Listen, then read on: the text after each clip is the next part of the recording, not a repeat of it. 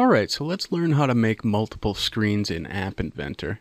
Now the way I have this set up is with a couple of table arrangements. I've got one table arrangement here and one table arrangement here.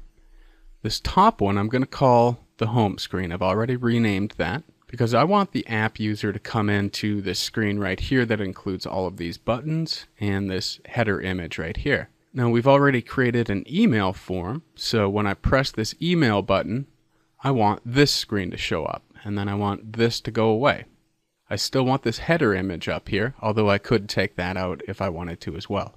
So as we get started learning this process, just understand that when we come into the app as a user, we're going to see the set of buttons here in this image, and this is going to be invisible. It's not actually going to be on another screen. It's just going to be invisible to their eye. Now, when they choose this email button, this section is going to become invisible, and we'll see this section right here.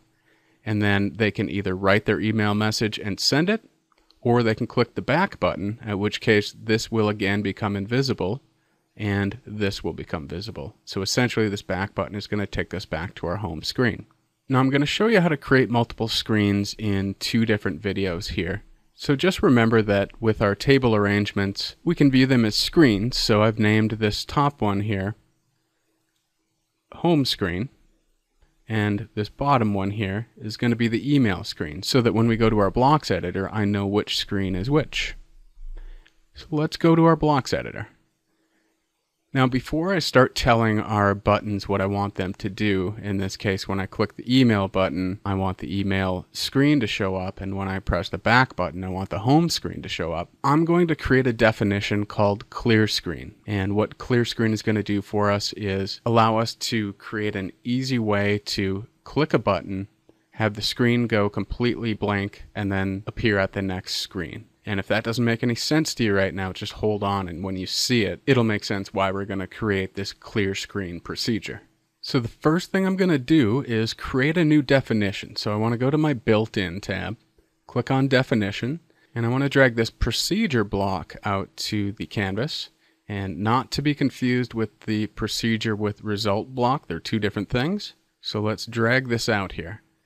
And right away I'm going to rename this to clear screen. The next step is to add each screen that I have in my app into the clear screen procedure. So I'm going to go to the My Blocks area and find my two screens. So the first screen I want to put in here is my home screen. I want to find the home screen visible block and I'll plug that in here. I'm going to find my next screen, which is my email screen. Click on that and I'll grab my email screen visible block and I'll just put it right below home screen. What I need to do next is to go back to my built-in tab and I'm going to add a little bit of logic here. I'm going to click on the logic drawer and I'm going to find that I have true, false, not, and, or, and equals area.